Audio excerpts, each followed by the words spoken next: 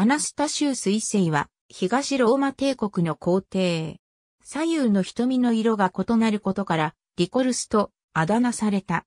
先帝ゼノンは後継者を指名せずして491年崩御した。このため、ゼノンの皇后アリアドネは、枢密院警護長であったアナスタシウスと成婚することで、皇帝として選んだのである。即位直後、アナスタシウス一世は、イサウリア人の反乱を鎮圧するとともに、ブルガール人の侵攻を防いで帝国の防備を強化した。さらに、この頃になると、帝国財政は破綻寸前にあったが、アナスタシウス一世は優れた経済政策を採用することで財政再建を実現させるなど、その知性に多くの功績を残した。アナスタシウス一世の改革は後に、ユスティニアヌス一世の時代に、東ローマ帝国が領土を回復するための原動力となったと言われる。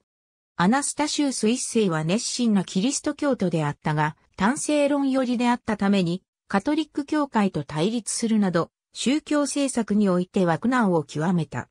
また当時のコンスタンティノープル総主教も単性論寄りであったために、ローマ教皇フェリクス3世によって破門され、これによって東西教会は分裂していくこととなる。そのため後世のキリスト教歴史家からの評価は極めて低い。508年、フランク王クロービス一世に対し、アナスタシウス一世はローマ帝国名誉執政官に任命した。518年、男児なくして崩御した。法産86から87歳。後継者には、元老院によって、親衛隊からユスティヌスが選ばれた。アナスタシウス一世は、コンスタンティウス一世とコンスタンティヌス一世の子孫で、コンスタンティヌス朝の末裔の一人である。アナスタシウス一世の父の名はポンペイウス、母はユリアナ。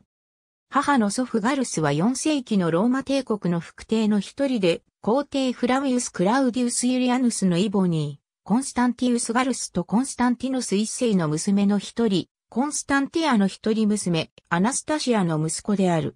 また、コンスタンティアの母のファウスタは、皇帝、マクシミアヌスの娘である。マクシミアヌスの息子でファウスタの兄に、マクセンティウスがいる。上記の系譜ゆえに、アナスタシウス一世は、副帝ガルスとコンスタンティアの来孫、コンスタンティヌス一世とファウスタのコン孫、マクシミアヌスとその皇妃エウトロピアの名を孫、コンスタンティウス一世とその妻二人の名を孫にあたる。アナスタシウス一世直系の子としては507年に殺害された名前不明の男子のみしか確認されておらず、その男子に妻子がいたという記録もないため、アナスタシウス一世の死後も生き残った直系子孫は存在しない。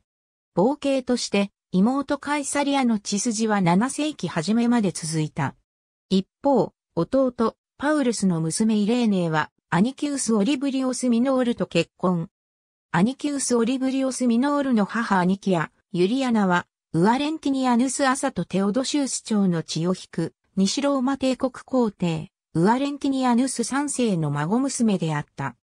アニキウス・オリブリオス・ミノールとエーレーネーは娘、プロバを設け、プロバは夫アニキウス・プロブス・ミノールとの娘、ユリアナの血筋は、ユスティニアヌス・アサ、ヘラクレオス王朝と結びついて存続し、第一次ブルガリア帝国の皇室にもその血が入り込んでいる。